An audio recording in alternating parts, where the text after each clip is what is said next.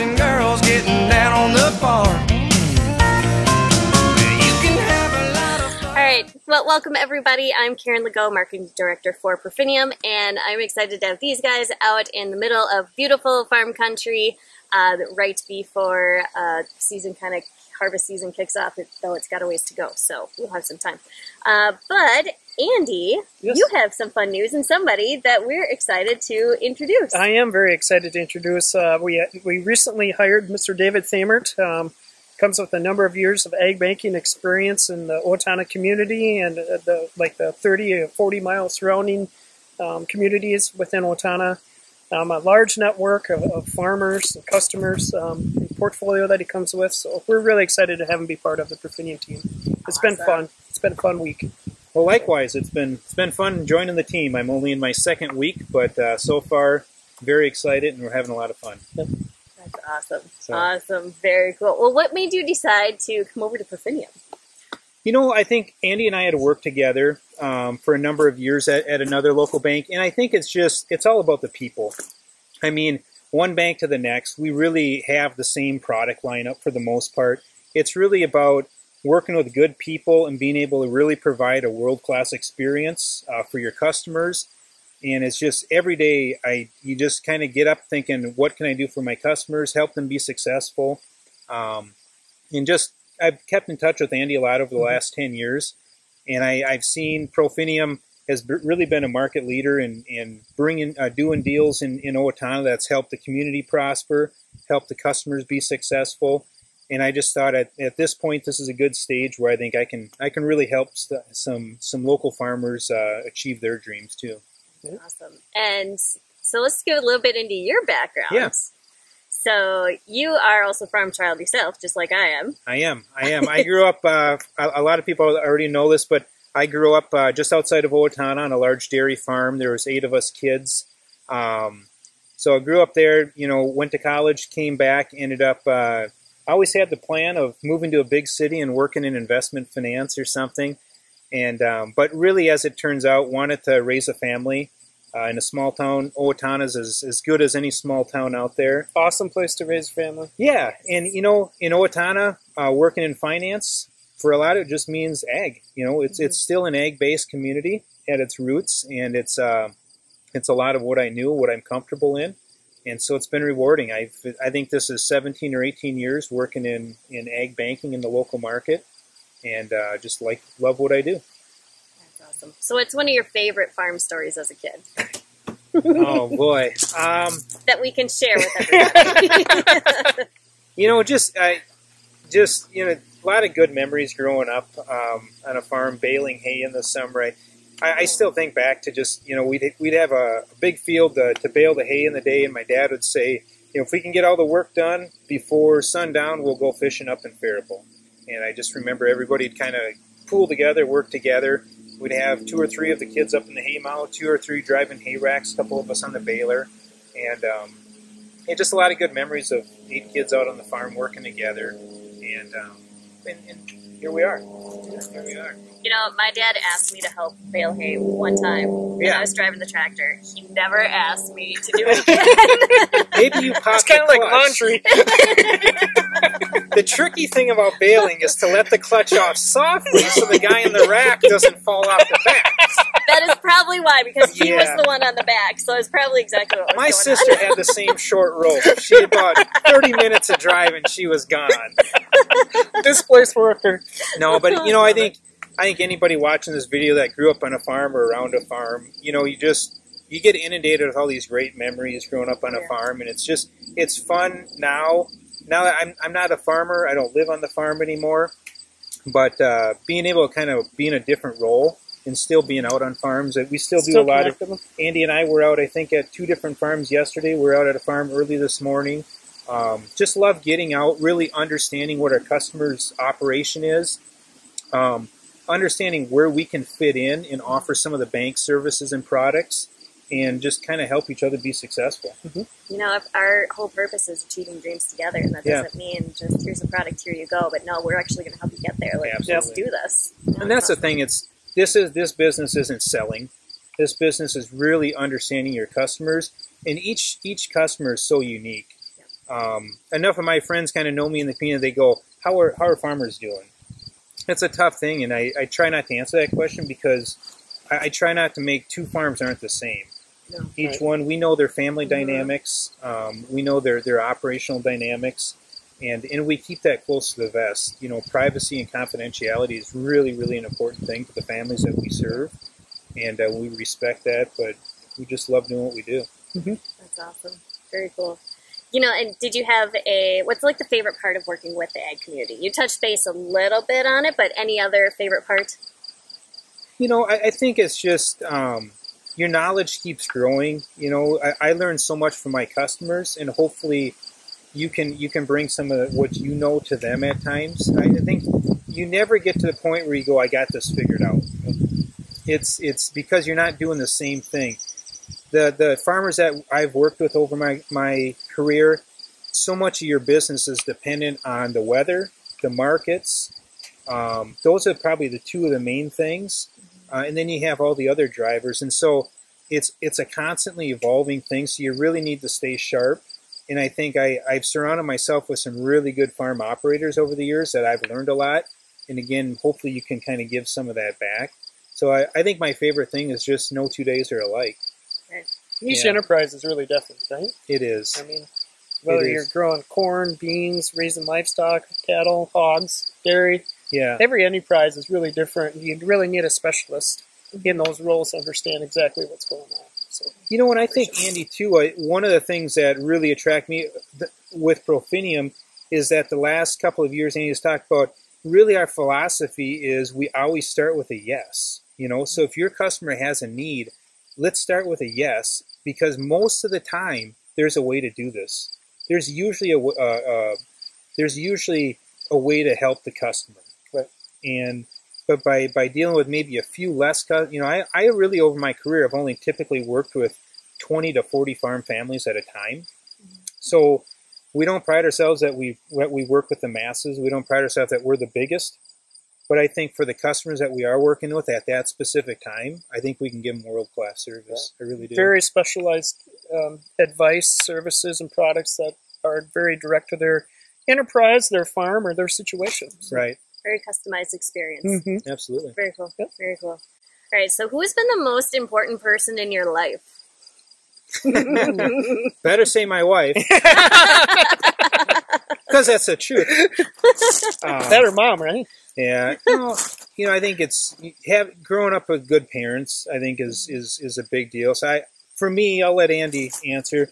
For me, it's probably not one person, but growing up in a good uh, family environment with good morals and ethics uh, was really a good jump start. Um, but now, you know, as as you get on your own, I got uh, my wife of many years and, and four young kids. I think it's just uh, that same thing. I'd say for me, it's probably more family than it is any one person.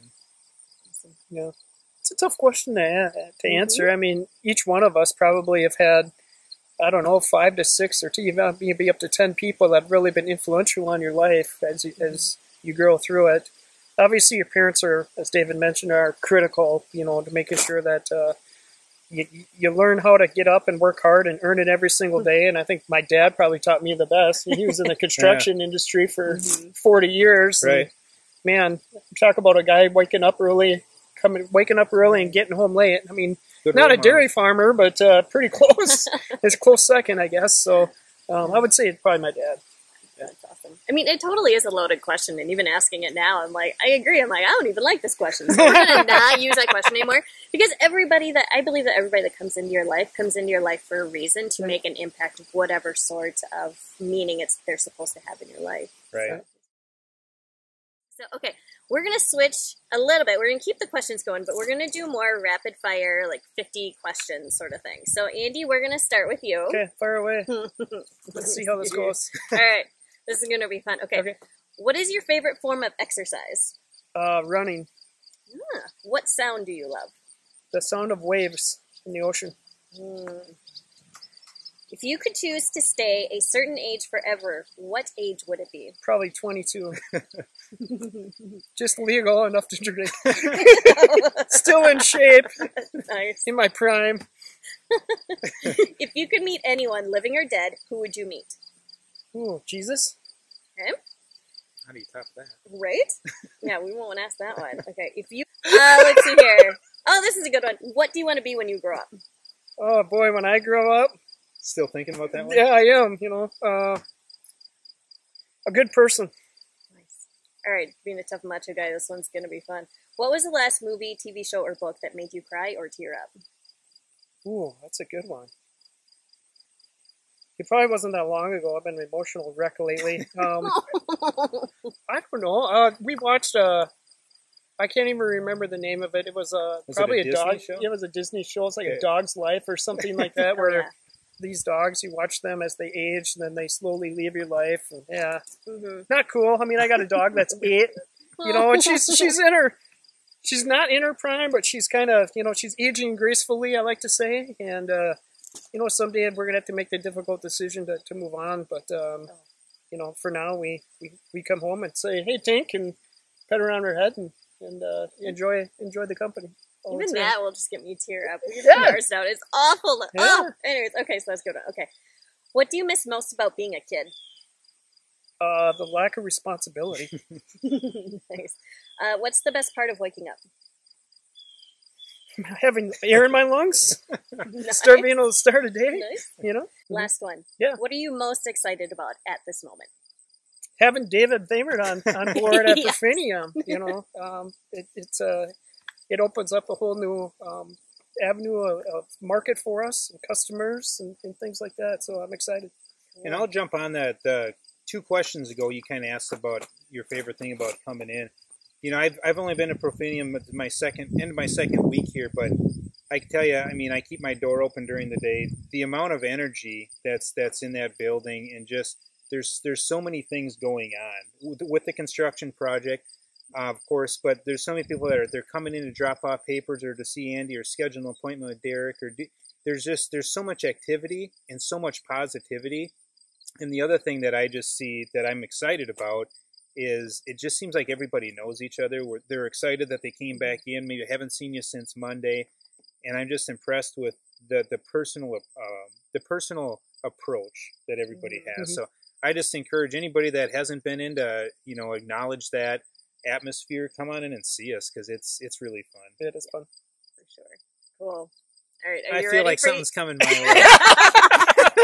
ready That's for all right. your 50 questions? Yeah. I'm ready. Okay. Uh, what is one of your favorite quotes? Um, you know, my brother, I got an older brother, John, that always says everything comes out in the wash, and I, I Mm. think that's that's probably a model that I live by. I don't get caught up in nickels and dimes. Try to just, uh, you know, you don't get too high, don't get too low. I, I think those quotes kind of all merge in. Don't get caught up in the details. Love it. Love it. What chore do you absolutely hate doing? Probably cleaning bathrooms, but uh, Nice. you know, at, at home I gotta hand it to my wife. We have a pretty good system of there's jobs she likes, there's jobs I like, and then there's jobs that we both work together on. But that's probably one that sh- um, I think neither of us really likes. So. Delegate it to the kids. right. All right. Favorite indoor or outdoor activity? Um, I'd say camping with my family. That's kind of uh, our getaway where we, we can unplug. Awesome. Uh, what is your least favorite mode of transportation? Train. I would say Yeah. camel. You know, sometimes been on a we. camel? That's fair. Up to fair. nice. Yeah, because it just keeps going around in circles. It never takes you to go get mini donuts or anything. What I can think of is a few times that we'll go we'll go up to the cities for a Twins game or something like that. We'll get on the Metro line, and it, and the kids love it because being raised in Owatonna, that's kind of a, it's a big city of thing you get to go experience. But usually, as I sit there, I think if I didn't have the kids with me, I wouldn't be here. right. Random thought. Random thought. If you could learn to do anything, what would it be? Uh, walk on stilts, I suppose. Huh? Yeah, I was I just I was at an impasse for an idea. When so. was the last time you had an amazing meal? You know, um, I, I, I'll throw throw one out to my son here. The other day, we were leaving for work, got really busy, and I said, "Jack, I just need you to figure out dinner and get it get get chicken going in the crock pot." And he's like, "How do I do that?" I'm like, "You can't mess up chicken in the crock pot. Just make sure it's on high for six hours. You'll be good." And I came home and I got a hand to the kid. He made an amazing meal. He's 13 years old, and we all liked it. So I was happy with that. Awesome. Very cool. Very cool. What was your first recollection of money? You know, it's um, it's funny. We were just talking about this at, at, at a family event the other day. But I had a I had a great uncle that lived uh, down in Waldorf. He lived on the second level of a downtown building, and the first level was the Waldorf General Store. And I was probably five years old or so, and a, me and a couple of my siblings, um, we were there to visit great uncle Joe. And so we go through the Waldorf store, and he says, "Pick out a candy each." So we each picked out a candy, and he put them up on the front counter and he said to the lady, put it on my tab. And then he proceeded to walk up the staircase to their apartment. I just thought, this guy must be a millionaire because we just got something and he didn't put any cash on the table. so I don't know, that's probably my first recollection of credit. Oh, And I just nice. thought, but when you're five years old, you think this guy must own the world because I just got a tube of Necco wafers and I didn't have to cough up any money. And um, so yeah, it was probably my first my first uh, experience with credit. Now that I know, he probably had to come down and settle his tab up later on. But when you're a kid, you don't think about all that. That's awesome. I love it. All right, uh, where's Waldo? Where's Waldo? Well, I'm Waldo because uh, at at Halloween I actually dressed up as Waldo. True story, just this last year. And it's about ten o'clock, and my daughter and son were at a at a school event, a Halloween party. So it's about ten o'clock, and my wife's like, "Hey, the kids just texted, ready to be picked up." So I hop in my truck. Um, Halloween night, I'm at a stoplight right downtown Owatonna. Car pulls up next to me, a bunch of high school kids, and all I heard is "Found them!" yes. I loved it. At first, I thought, what? Oh, I'm Waldo. It was fun. That's the best. Found him. There's going to be your hashtag right there. Found him. All right. Last question that we're going to ask, and we're going to close this out with this question. What are you most excited about at this moment? Like I said, uh, you know, Andy and I have been having a lot of fun the last couple of days. I know I'm just onboarding, and, and obviously the the the rally is going to come, and it's time to get down to work. You know, it, but I, I like what I do. I really do. Um, what I'm excited about is just we've been out yesterday. We're out uh, today meeting with a few customers, farm customers, prospects. Um, just really spending time without having these huge expectations. Just let's just simplify this. Stop out, talk to good people. Ask, you know, what are your what are your objectives? What are you trying to achieve? Is there a part that we can play to kind of help you out with that? Yep. And if, if there's a fit there, let them know here's the information we need to gather, get back to the bank, do our thing, and then come back to them with a couple of options. Here's how we think we can help you and add some value. It's just really fun. So cool. Any last words? Otherwise, you know, it's nice. You know, I've been sitting in the shade and we've definitely put Dave in the hot seat, Yeah. in the hot blazing fine. sun. That's fine. So, any last last comments or anything from you two before we wrap it up? No, I'm just really excited uh, to see what the future brings at Profinium. I think it's going to be a lot of fun. Um, the next five to ten years is going to be a, a lot of uh, a lot of fun for us. So I'm looking forward to it. Yeah, I just want to say, I mean, I'm, I'm a very approachable person. I grew up on a, on a dairy farm here in Owatonna, um, raising my family right here in Owatonna. Um, very approachable. So if you know me, uh, you know how to get a hold of me or stop in to see us. Um, see, see what we're all about. We'd love to talk with you. So Awesome. Thank you both for Thank coming you. out, hanging out in the thanks for having us out out in here. the yard. So, we'll see you all later. Boys and girls getting down on the farm.